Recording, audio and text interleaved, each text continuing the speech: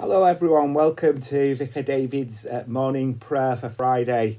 Uh, I'm so sorry it's been such a long time since I've posted anything. Uh, if you don't already know, I was tested positive for COVID, so I was uh, effectively out of action for uh, a few weeks, but uh, feeling much better now, although still not much sense of taste or smell. Well, some people might say that's a good thing with my cooking. I don't necessarily agree with them. Anyway, I'm back now, so we're going to start the uh, postings again, and we start it um, again on uh, for Friday for morning prayer, um, as usual from the beautiful, rich, and um, poetic language of the Book of Common Prayer, the Prayer Book. When the wicked man turneth away from his wickedness that he hath committed, and doeth that which is lawful and right, he shall save his soul alive. I will arise and go to my father, and will say unto him, Father, I have sinned against heaven and before thee, and am no more worthy to be called thy son. If we say that we have no sin, we deceive ourselves, and the truth is not in us. But if we confess our sins, he is faithful and just to forgive us our sins, and to cleanse us from all unrighteousness. Dearly beloved brethren, the Scripture moveth us in sundry places to acknowledge and confess our manifold sins and wickedness, and that we should not dissemble nor cloak them before the face of Almighty God, our Heavenly Father, but confess them with an humble, lowly, penitent, and obedient heart, to the end that we may obtain forgiveness of the same, by His infinite goodness and mercy. And although we ought at all times humbly to acknowledge our sins before God, yet ought we most chiefly so to do when we assemble and meet together to render thanks for the great benefits that we have received at his hands, to set forth his most worthy praise, to hear his most holy word, and to ask those things which are requisite and necessary as well for the body as the soul. Wherefore I pray and beseech you, as many as are here present, to accompany me with a pure heart and humble voice unto the throne of the heavenly grace, saying after me, Almighty and most merciful Father, we have erred and strayed from thy ways like lost sheep. We have followed too much the devices and desires of our own hearts. We have offended against thy holy laws, and we have left undone those things which we ought to have done, and we have done those things which we ought not to have done, and there is no health in us. But thou, O Lord, have mercy upon us, miserable offenders. Spare thou them, O God, which confess their faults Restore thou them that are penitent, according to thy promises declared unto mankind in Christ Jesus our Lord. And grant, O most merciful Father, for his sake, that we may hereafter live a godly, righteous, and sober life, to the glory of thy holy name. Amen. Almighty God, the Father of our Lord Jesus Christ, who desireth not the death of a sinner, but rather that he may turn from his wickedness and live, and hath given power and commandment to his ministers to declare and pronounce to his people, being penitent, the absolution and remission of their sins. He pardoneth and absolveth all them that truly repent and unfeignedly believe his holy gospel. Wherefore let us beseech him to grant us true repentance and his Holy Spirit, that those things may please him which we do at this present, and that the rest of our life hereafter may be pure and holy, so that at the last we may come to his eternal joy through Jesus Christ our Lord. Amen. Let us pray. Our Father, which art in heaven, hallowed be thy name. Thy kingdom come, thy will be done, in earth as it is in heaven. Give us this day our daily bread, and forgive us our trespasses as we forgive them that trespass against us.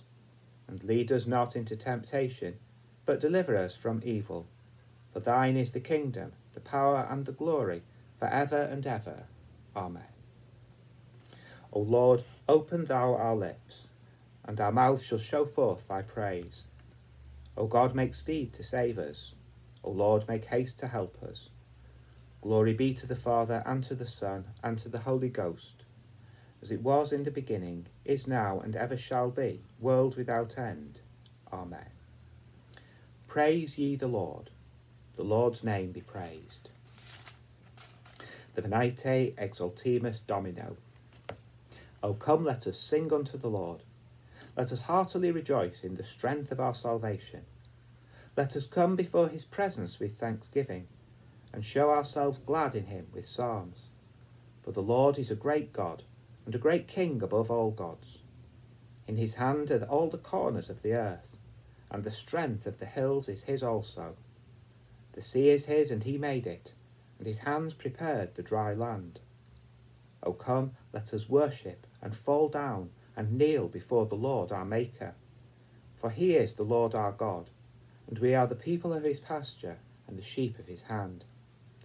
Today, if ye will hear his voice, harden not your hearts, as in the provocation, and as in the day of temptation in the wilderness, when your fathers tempted me, proved me, and saw my works. Forty years long was I grieved with this generation, and said, It is a people that do err in their hearts, for they have not known my ways, unto whom I swear in my wrath, that they should not enter into my rest. Glory be to the Father, and to the Son, and to the Holy Ghost, as it was in the beginning, is now, and ever shall be, world without end. Amen. The words of the Benedictus.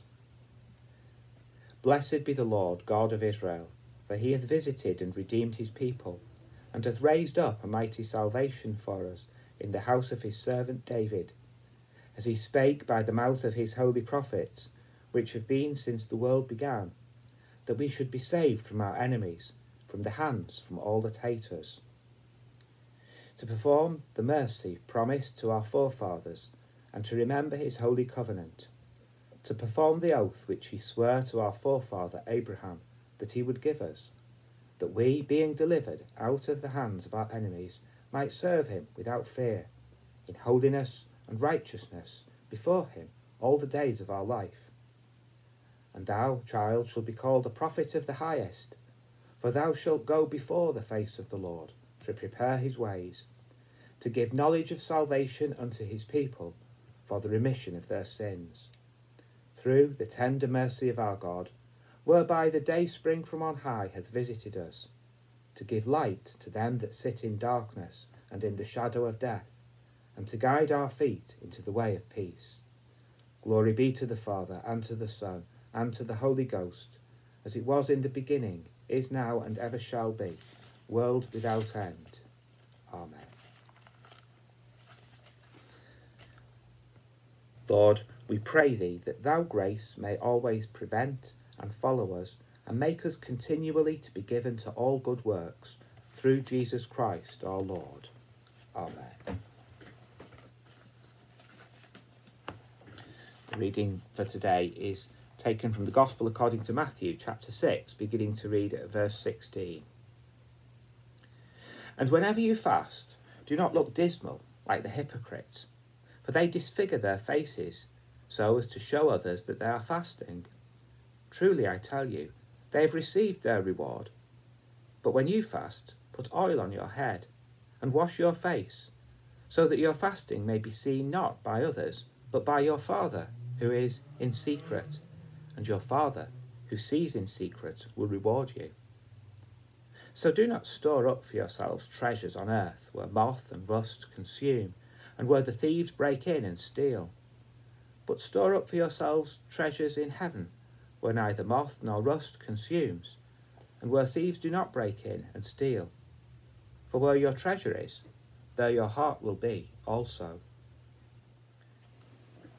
One freezing cold January morning in 1943, a farmer was um, breaking the solid rock ice hard ground in his field um, in Cambridge near Mildenhall and the uh, the farmer's name was Gordon Butcher, and he came across what he thought was um, some kind of metal sheet uh, about a, a, a, foot long, like this, in width, um, and stopped the tractor and bent down, picked it up, and it felt like um, a kind of pewter uh, metal, and he could see inscriptions on it, and he knew it was something historical that had been buried in the ground. So he, he, took it to the landowner, local landowner who owned the farm, uh, man called Sydney Ford.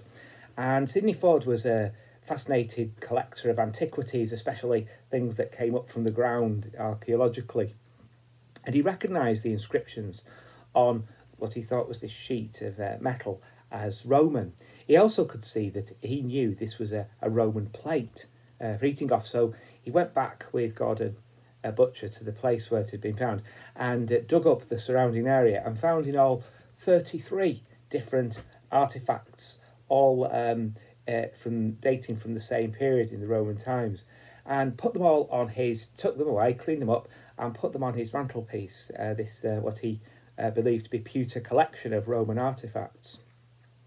A few weeks later, he was entertaining a guest um, from the university, and uh, this guest was an expert in, in Roman archaeology and recognised straight away that these artifacts were not, in fact, pewter, but cleaned up very uh, simply, uh, uh, rubbed um, with some cleaning fluid, were shown to be solid silver, making them exceptionally rare and exceptionally valuable indeed, called the Mildenhall Hoard um, treasure uh, bought then by the British Museum, and each man, the landowner Sydney Ford and the uh, farmer Gordon Butcher, each received in 1943 £2,000 each, which uh, it was a tidy sum in those days, equating probably to around 10 uh, to around £100,000 each in those days.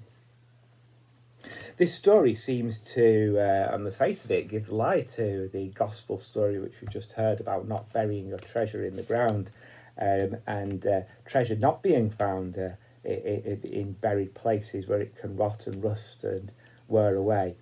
Because uh, each man received a hundred thousand pounds, and I, I, can tell you, I wouldn't mind receiving a hundred thousand pounds. Um, but and yet, the treasure itself was only of limited value, however uh, unique, uh, however special the hoard may be. Uh, both men, uh, Gordon uh, Butcher and Sydney Ford, are now uh, long since not been with us, gone to the uh, rest eternal. So they couldn't take the rewards with them. Certainly, the Roman, whoever it was who buried the treasure in the ground, um, couldn't enjoy the value of it or anything else because it was just left there for 2,000 years. So, in essentially, we see the truth behind that gospel reading um, to be uh, true down the centuries. That uh, it's not so much that um, none of us would like a, a, few more pounds a week in our pay packet. Uh, I certainly would. Um, or some investments or some kind of windfall. It's just that these things in themselves are not the things that make us truly, really happy. These things are uh, maybe help us to enjoy a bit more of life, but they will not bring us uh, true fulfillment, true happiness in itself.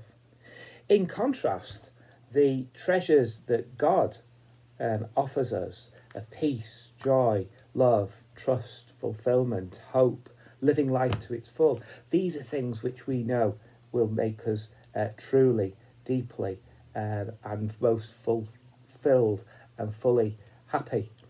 And I think that I don't need to say to, to any of you that if you think what is the most valuable part of your life, it won't be some object which you can bury or otherwise. It won't be anything you can go and purchase, no matter how much money you had. It'll be things to do uh, with living a, a satisfied and fulfilled life in relationships and all the things that go along with uh, being a whole and a rounded and a happy person. And I think this is what the essence of this story is that no matter how much um, we might um, benefit by having uh, extra things in our lives. These are things that are not there all the time, and they will not bring us the true happiness that God Himself will bring. And in contrast to that kind of one off um, buried treasure trove, the Mildenhall Trust, or whatever else it, it might be, that, that is literally a one off. That is one hoard, it's one treasure trove. In contrast, the um, treasures that God offers to us are offered every day. In fact, every moment. They're always there. They're never exhausted. They're always available and they are always on offer for us to reach out and to uh, take and to humbly um, walk humbly, uh, receiving the treasure that God, in His infinite love and generosity, offers to us, not once, but all the time.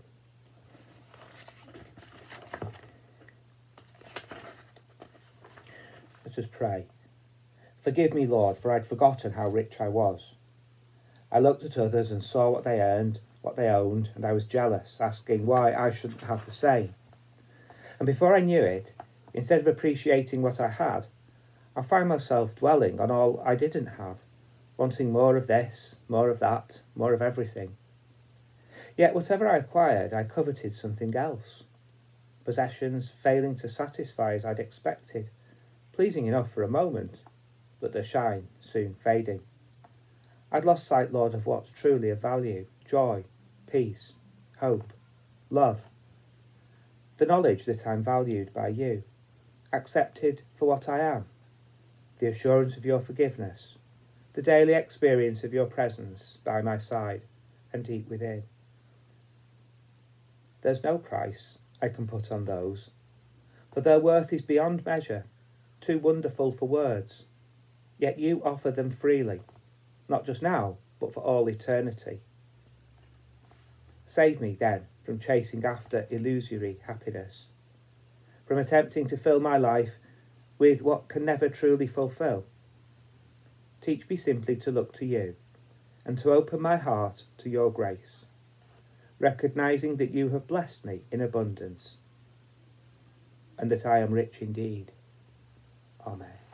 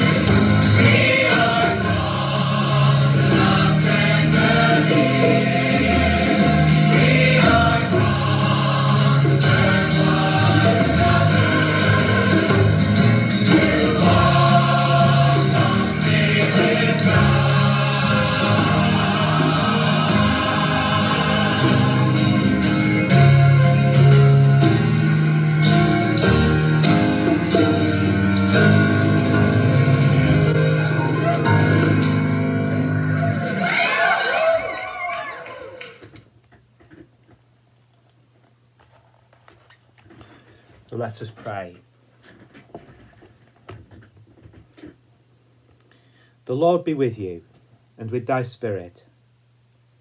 Lord, have mercy upon us. Christ, have mercy upon us. Lord, have mercy upon us. Our Father, which art in heaven, hallowed be thy name. Thy kingdom come, thy will be done, in earth as it is in heaven. Give us this day our daily bread and forgive us our trespasses, as we forgive them that trespass against us. And lead us not into temptation, but deliver us from evil. Amen. O Lord, show thy mercy upon us, and grant us thy salvation. O Lord, save the Queen, and mercifully hear us when we call upon thee. Endue thy ministers with righteousness, and make thy chosen people joyful. O Lord, save thy people, and bless thine inheritance. Give peace in our time, O Lord, because there is none other that fighteth for us, but only thou, O God.